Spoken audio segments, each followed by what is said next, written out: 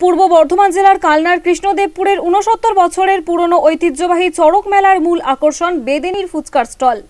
কৃষ্ণদেবপুরের চড়ক মেলাকে কেন্দ্র করে নানা জায়গা থেকে এসে মানুষ স্টল নিয়ে বসেন মেলা প্রাঙ্গণে। নানান রকম সামগ্রী বিক্রি হয় এই মেলায়, তবে এই মেলার এবারের মূল আকর্ষণ ছিল বেদেনির ফুচকা। বেদেনির ফুচকা স্টলকে ঘিরে মানুষের মনে কৌতূহলের অন্ত নেই।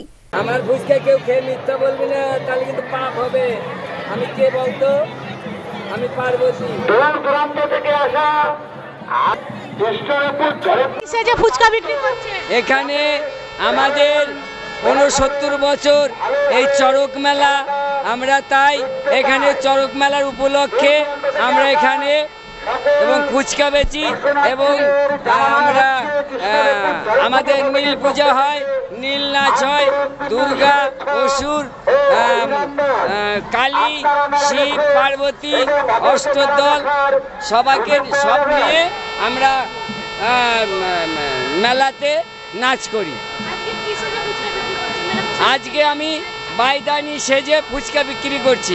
আমার খুব আনন্দ উপভোগ হয় এবং দর্শক আনন্দ পায়, তার জন্য আমি সেজে ফুচকা বেচি চড়কে নাচতে যায় তো তারপরে চড়ক থেকে তো আর নাচটা ড্রেস খুলে করতে পারে না। ওই জন্য ড্রেস পরা অবস্থায় তাকে ব্যবসা ড্রেসটা পরে থাকে নাচে। এবার আজকে একটা চড়কের দিন একটা ভালো অনুষ্ঠানের দিন। এর জন্য ওরা ড্রেস খুলে নাচতে পারে না। ড্রেসটা পরেই ব্যবসাটা শুরু করে। কমিটির পক্ষ থেকে আন্তরিক গান গেয়ে ফুচকা বিক্রি করছেন বেদেনি। এতে যেমন মানুষের মনোরঞ্জন হচ্ছে, তেমনই বিক্রি হচ্ছে ফুচকা। তবে যিনি বেদেনি সেজেছেন, তিনি কৃষ্ণদেবপুরের রাজবংশী পাড়ার বাসিন্দা মনোরঞ্জন রাজবংশী।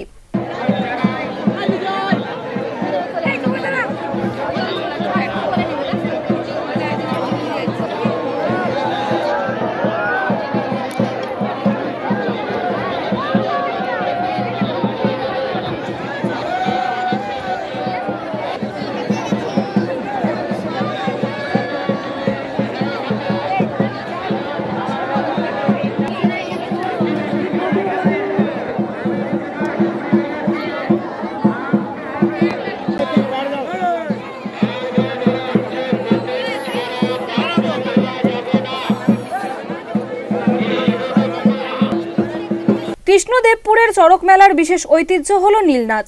শিব দুর্গা সহ বিভিন্ন দেবদেবী সেজে লোকের বাড়ি বাড়ি গিয়ে পুরাণ কাহিনী তুলে ধরে নাচ গান করেন রাজবংশী পাড়ার পুরুষেরা। এই নীলনাচকে বিশেষ মর্যাদা দিতেই বেদেনি সেজে চড়কের মেলায় ফুচকা বিক্রি করছিলেন মনোরঞ্জন রাজবংশী।